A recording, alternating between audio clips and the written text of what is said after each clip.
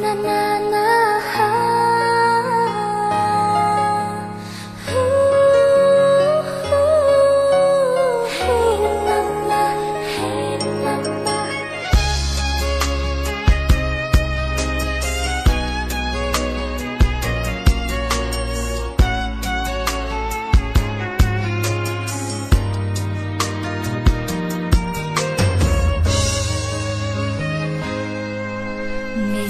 khi còn thơ bé, con vẫn hay đòi mẹ khóc nhẹ để được mẹ dùng dành và kể con nghe những câu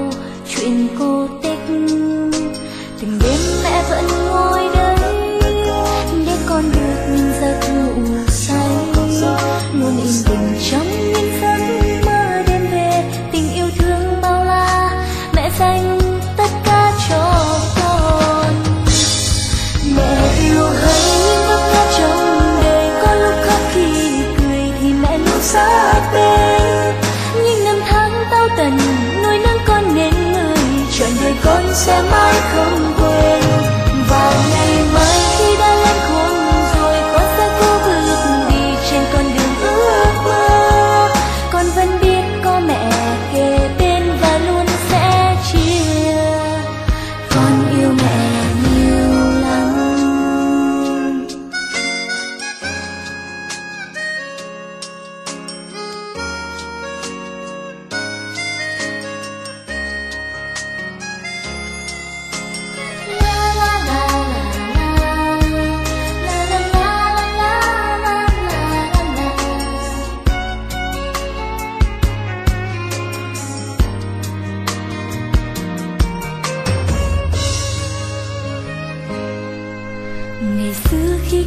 thơ bé.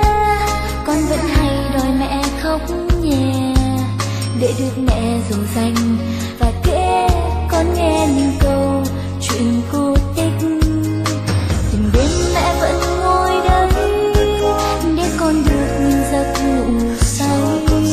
Luôn yên bình trong những giấc mơ đêm về, tình yêu thương bao la.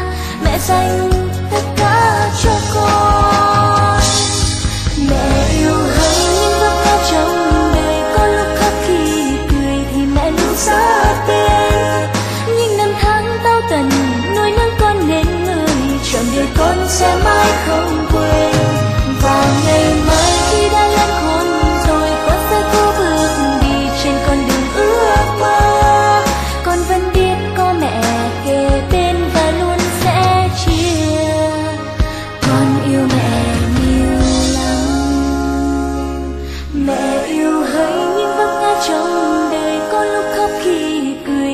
mẹ luôn xa tên nhưng năm tháng tao tần nuôi nấng con nên người trọn đời con sẽ mãi không quên.